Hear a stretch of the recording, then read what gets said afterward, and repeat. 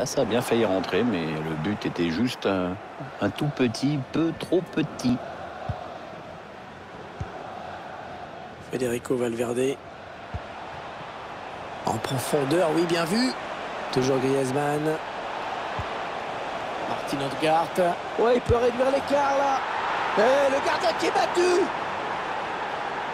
Ah, il n'avait plus qu'à conclure. C'était vraiment à bout portant.